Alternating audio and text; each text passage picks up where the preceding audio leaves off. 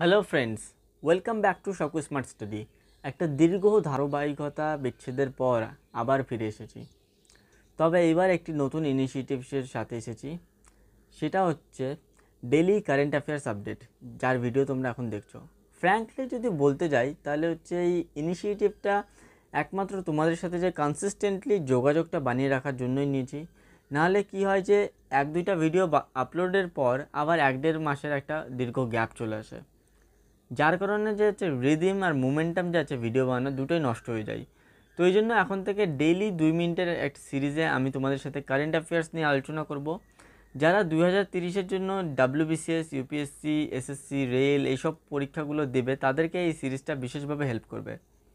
তো আজকের টপিক হচ্ছে আমাদের biotechnology industry research assistance council বা বিরাক বা বাইরাক যেটাই বলো BIRAC release the Indian eco bio economy report IBER two thousand twenty two এটা হচ্ছে কারেন্ট অ্যাফেয়ার্সের নিউজ তো এটা আমরা আজকে আজকে অ্যানালাইজ করব। তো বায়োটেকনোলজি কি? সবার ফার্স্টে আগে আমাদেরকে এটা জানতে হবে। তো বায়োলজি আমরা ছোটোবেলা সবাই পড়ছি বায়োলজি বায়োলজির সাথে যদি টেকনোলজিকে জয়েন করে biology plus technology is equal to biotechnology ঠিক আছে? তো এখান থেকে এই ধারণাটা থেকে আমাদের মাথায় মোটমোট আইডিয়া আসলো যে টেকনোলজি হবে রিলেটেড টু কি? বায়োলজি ঠিক আছে? এইবার হোয়াট ইজ বায়ো ইকোনমি এটা আমাদেরকে জানতে হবে। এই টার্মটা নতুন, যে বায়ো ইকোনমি আবার কি? তো যদি আমরা বায়ো ইকোনমির সংজ্ঞা দিতে যাই, তখন আমরা দেখব United নেশনসের food and agriculture agriculture organisation যেটাকে বলে এফ এই সংস্থার সংজ্ঞা অনুযায়ী কি বলছে এখানে? Production use and conservation of biological resources মানে বায়োলজিক্যাল যে রিসোর্সগুলো আছে, তার উৎপাদন, ব্যবহার এবং সংরক্ষণ।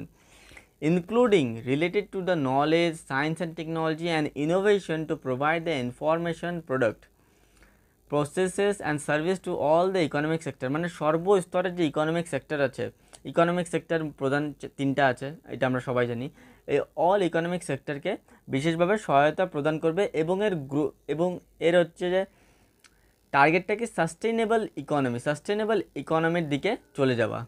এবার যদি আমরা হচ্ছে কয়েকটা এলিমেন্ট যদি দেখি বায়ো ইকোনমির এলিমেন্টগুলো কী কী? সেটা হচ্ছে vaccine therapeutics diagnostic cotton biopesticide biofuel etcetera etcetera এটা হচ্ছে আমাদের বায়ো ইকোনমির সংজ্ঞা। এবার যদি আমরা দেখি, ইন্ডিয়ার এখানে রোল কী বায়ো ইকোনমিতে তো বায়ো ইন্ডাস্ট্রির ক্ষেত্রে প্রাইম মিনিস্টার মোদি বলছেন যে হচ্ছে এনার্জি ইন্ডিপেন্ডেন্ট হতে আত্মনির্ভর ভারতের যে একটা ভিশনটা আছে আমাদের, এখানে হচ্ছে দু সাতচল্লিশ যখন আমাদের ইন্ডিপেন্ডেন্সের মানে স্বাধীনতার একশো বছর হবে, তখন ইন্ডিয়াকে একটা এনার্জি ইন্ডিপেন্ডেন্ট কান্ট্রি হিসেবে দেখতে। মানে কি আমরা কারও থেকে আর এনার্জি যখন এখন যেরকম আমরা হচ্ছে পেট্রোল এগুলো হচ্ছে যে ক্রুড অয়েল যে হচ্ছে নিচ্ছি বা বিভিন্ন এনার্জি যে হচ্ছে ট্রান্সপোর্ট ইম্পোর্ট করছি, তখন আমরা এনার্জি ইন্ডিপেন্ডেন্ট হব। তো the Indian government had approved by the amendment to the national policy on biofuels and took decisions to increase biofuel production. দেখো ইনক্রিজ করতে বলছে ডিসিশন কি নিচ্ছে ইনক্রিজ করবে কি? বায়োফুয়েল প্রোডাকশনকে ইনক্রিজ করবে।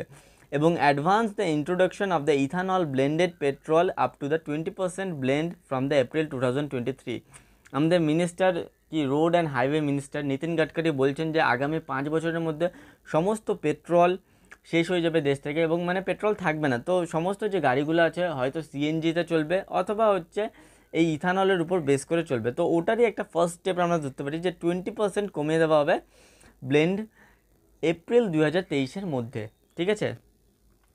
তো এবার ইন্ডিয়ার পজিশন দেখব আমাদের বায়োটেকনোলজিতে ইন্ডিয়ার পজিশন হচ্ছে top three in the Asia এশিয়ার মধ্যে টপ থ্রি তো এবার কোশ্চেন আসতে পারে এক্সামে যে কোন দুইটা দেশের পরে ইন্ডিয়ার অবস্থান? অ্যান্সার হবে চায়না আর জাপান আর যদি ওয়ার্ল্ডের দিক থেকে দেখি আমরা বারো নম্বর পজিশনে আছে ইন্ডিয়া বায়োটেকনোলজি ইন ওয়ার্ল্ডে এবং গ্লোবাল যে বায়োটেকনোলজির যে ইন্ডাস্ট্রিটা মানে গ্লোবাল ইন্ডাস্ট্রি ওখানে ইন্ডিয়ার শেয়ার কত পার্সেন্ট থ্রি পার্সেন্ট এগুলো হচ্ছে ডাটা যেগুলো আমাদের এক্সামে আসতে পারে, এগুলো আমাদেরকে মনে রাখতে হবে একটু। Technology provider for the bio economy biotechnology has been recognise the sunshine sector of the India for the India that the seceding multiplier effects on the Indian economy bio মানে সানশাইন সেক্টরকে আমাদের একটা বাংলা টার্মিনোলজি আছে।